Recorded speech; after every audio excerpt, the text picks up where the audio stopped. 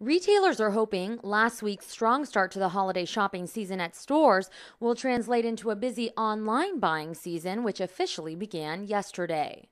The National Retail Federation calls the Monday after Thanksgiving Cyber Monday. It's when a number of retailers host special one day sales and give special offers to online shoppers.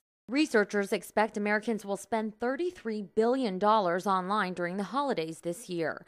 People booted up their work computers after the long weekend yesterday to catch the free shipping deals that tons of retailers offered with no conditions like a minimum purchase. In fact, the number of retailers that hosted online deals yesterday surged from 42 to more than 70% of those polled just two years ago.